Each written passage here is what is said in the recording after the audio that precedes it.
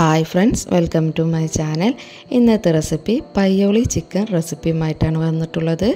അപ്പോൾ പെട്ടെന്ന് ഗസ്റ്റ് എല്ലാം വരുന്നുണ്ടെങ്കിൽ അവർക്ക് വളരെ എളുപ്പത്തിലും വളരെ ടേസ്റ്റിയുമായിട്ട് ഉണ്ടാക്കി വെച്ചെടുക്കാൻ പറ്റുന്ന ഒരു ചിക്കൻ റെസിപ്പിയും കൂടിയാണിത്. ഗസ്റ്റ് എല്ലാം വന്ന് കഴിച്ച് അവർ നല്ല അഭിപ്രായം പറഞ്ഞു പയ്യോളി ചിക്കൻ കഴിച്ചിട്ട്. അപ്പോൾ അത് നിങ്ങൾക്കും ഷെയർ ചെയ്യാമെന്ന് വിചാരിച്ചു. അപ്പോൾ എങ്ങനെ പയ്യോളി ചിക്കൻ ഉണ്ടാക്കാമെന്ന് നോക്കാം. പയ്യോളി ചിക്കൻ ഉണ്ടാക്കാനായിട്ട് ഞാനിവിടെ പതിനഞ്ച് ഉണക്കമുളകാണ് എടുത്തിട്ടുള്ളത്. അതിൽ ഒരു അര കപ്പ് വെള്ളം ഒഴിച്ച് ഒന്ന് കുതിർത്തി എടുക്കണം ഒരു നാലഞ്ച് മിനിറ്റ് ഒന്ന് കുതിരാൻ വെച്ചതിന് ശേഷം ഒന്ന് അടുപ്പിൽ വെച്ച് ഒന്ന് വേവിച്ചെടുക്കാം. ഒരു മൂന്നോ നാലോ മിനിറ്റ് ഒന്ന് മീഡിയം ഫ്ലെയിമിൽ വെച്ചിട്ടൊന്ന് വേവിച്ചാൽ മതി. അതിനുശേഷം ഇതാ വേവിച്ച് വെച്ച ഉണക്കമുളക് മിക്സിയുടെ ജാറിലേക്ക് ഇട്ട് കൊടുക്കാം. ഇതേപോലെ അത്യാവശ്യം നല്ല എരിവുള്ള മുളകാണ്. കാശ്മീരി മുളകൊക്കെ ആണെങ്കിൽ ഒരു ഇരുപതെണ്ണം വരെ എടുക്കാം. ഞാനത് അത്യാവശ്യം എരിവുള്ള കാരണമാണ് ഒരു പതിനഞ്ചെണ്ണം എടുത്തിട്ടുള്ളത്. ഇനി ഇതൊന്ന് നന്നായി അരച്ചെടുക്കണം. എന്നിട്ട് ഇതിലേക്ക് വേണ്ടത് വെളുത്തുള്ളിയാണ് ഇട്ട് കൊടുത്തിട്ടുള്ളത്. അതൊരു ഉണ്ട വെളുത്തുള്ളിയാണ് ഇട്ട് കൊടുത്തിട്ടുണ്ട്. പിന്നെ ഇതിലേക്ക് ഇഞ്ചി പിന്നെ ഒരു പത്ത് പതിനഞ്ച് ചെറിയ ഉള്ളി തൊലി കളഞ്ഞത്. പിന്നെ ഇതിലേക്ക് വലിയ ജീരകം രണ്ട് ടേബിൾ സ്പൂൺ ഇട്ട് കൊടുക്കാം. പിന്നെ ഇതിലേക്ക് ഒരു നാലഞ്ച് ഗ്രാമ്പു രണ്ട് ഏലക്ക ഒരു മീഡിയം സൈസ് ഒരു പട്ട ഇട്ട് കൊടുക്കാം.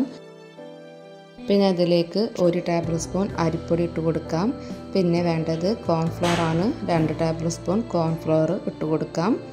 അരിപ്പൊടി കോൺഫ്ലോറൊക്കെ ചേർത്ത് കൊടുക്കുന്നത് നല്ല ക്രിസ്പി ആയിട്ടിരിക്കാനാണ് ചിക്കൻ പിന്നെ അതിലേക്ക് മുളക് പൊടി കാശ്മീരി മുളക് പൊടിയാണെങ്കിൽ ഒന്നര ടേബിൾ സ്പൂൺ നല്ല എരിവുള്ളതാണെങ്കിൽ ഒരു ടേബിൾ സ്പൂൺ ഞാനിവിടെ നല്ല എരിവുള്ളതാണ് എടുത്തിട്ടുള്ളത്. അപ്പോൾ ഒരു ടേബിൾ സ്പൂൺ ഇട്ട് കൊടുത്തിട്ടുണ്ട്.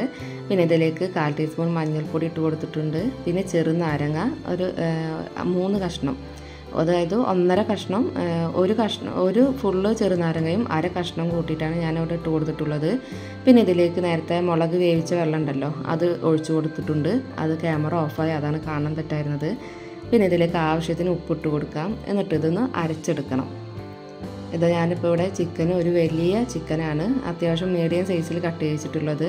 ഇപ്പോൾ ഇനി അരച്ച് വെച്ചിട്ടുണ്ടല്ലോ അത് ഇതിലേക്ക് ചേർത്ത് കൊടുക്കാം. നല്ല പേസ്റ്റാക്കി അരക്കണം കേട്ടോ തീരെ കഷ്ണങ്ങളൊന്നും പാടില്ല. നല്ല പേസ്റ്റാക്കി അരച്ചെടുക്കാം.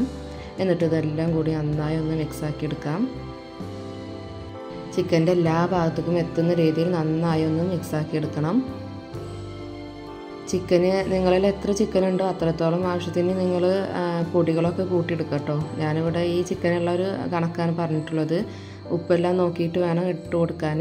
ചിക്കൻ എത്രത്തോളം ഉണ്ടോ അത്രത്തോളം നമുക്ക് പൊടികളും ഉപ്പും ഒക്കെ ആവശ്യത്തിന് ഇട്ട് കൊടുക്കണം. ഇപ്പോൾ ഇത് നന്നായി മിക്സാക്കി എടുത്തിട്ടുണ്ട്. ഇനി ബാക്കി വന്ന മസാലയാണത്. ചിക്കനെല്ലാം മാറ്റി ഞാനൊരു വേറൊരു പാത്രത്തിലേക്ക് ഇട്ടിട്ടുണ്ട്. ഇപ്പോൾ അതിൽ വന്ന ബാക്കി മസാലയിലേക്ക് ഒന്നര കപ്പ് തേങ്ങ ഇട്ട് കൊടുക്കാം. ചിരകിയ തേങ്ങയാണിത്. അത് ഒന്നര കപ്പ് ഇട്ട് കൊടുത്തിട്ടുണ്ട്. എന്നിട്ട് ഇത് നന്നായി ഒന്ന് മിക്സാക്കി എടുക്കാം.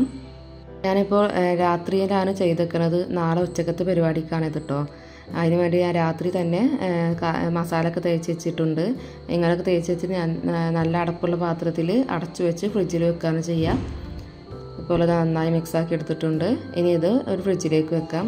ഇപ്പോൾ അത് പൊരിക്കാനുള്ള ടൈം ആയിട്ടുണ്ട് കേട്ടോ ഇത് തലേന്ന് കായം തേച്ചാണ് അപ്പോൾ ഇന്ന് ഉച്ചയ്ക്ക് ഞാൻ ആവശ്യത്തിന് എടുത്ത് പൊരിക്കുകയാണത്. ഓയിൽ ഒഴിച്ച് കൊടുത്ത് ഇനിയിപ്പോൾ സാധാ ചിക്കൻ പൊരിക്കണ പോലെ തന്നെ പൊരിച്ചെടുക്കാം.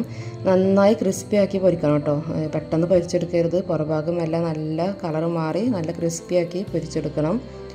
ഇനി ഇതിലേക്ക് കളർ ചേർക്കേണ്ടവർക്ക് കളർ ചേർക്കാൻ ഭംഗിക്ക് വേണ്ടിയിട്ട് ഞാനിവിടെ ചേർത്തിട്ടില്ല.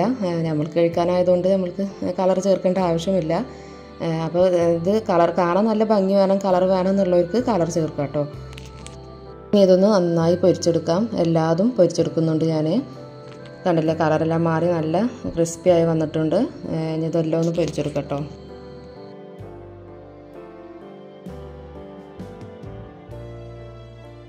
ഇപ്പോൾ അതെല്ലാം പൊരിച്ചെടുത്തിട്ടുണ്ട് നന്നായി ചിക്കനെല്ലാം നല്ല ക്രിസ്പിയായി വന്നിട്ടുണ്ട്. ഞാൻ പൊരിച്ച ഓയിലിലേക്ക് പച്ചമുളകാണ് ഇവിടെ എടുത്തിട്ടുള്ളത്. എട്ട് പച്ചമുളക് നടുകെ കീറിയിട്ട് ഒന്ന് വറുത്തെടുക്കാം. നന്നായി ക്രിസ്പി ആവണം. ഇതേപോലെ ആയാൽ നമുക്ക് കോരി മാറ്റാം. മുളകിടുമ്പോൾ ശ്രദ്ധിക്കണം. പൊട്ടിത്തെറിക്കാൻ ചാൻസ് ഉണ്ട്. അപ്പോൾ ശ്രദ്ധിച്ചിട്ട് വേണം മുളകിടാൻ ഇനി ഇതൊന്ന് കോരി മാറ്റാം.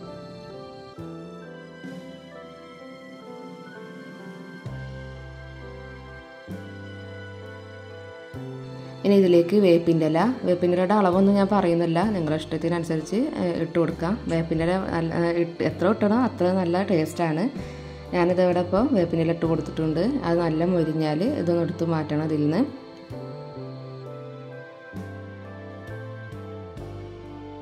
ഇനി ഇതിലേക്ക് തേങ്ങ ഇട്ട് കൊടുക്കാം. ഇപ്പോൾ നേരത്തെ മസാല തേച്ച് വെച്ച തേങ്ങ ഉണ്ടല്ലോ അതിട്ട് കൊടുക്കാം. ഇത് നല്ല ഒന്ന് മൊരിഞ്ഞ് വരട്ടെ. എന്നിട്ട് ഇതിൽ നിന്ന് കോരി മാറ്റാം.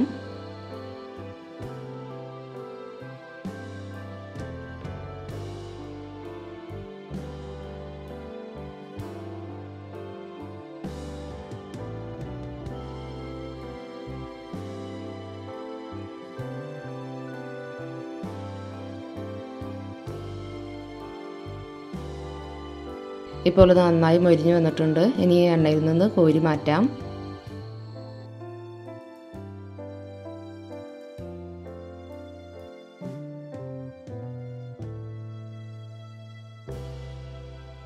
ഇനി ഇതെല്ലാം കൂടി ചിക്കനിലേക്ക് ഇട്ട് കൊടുക്കാം.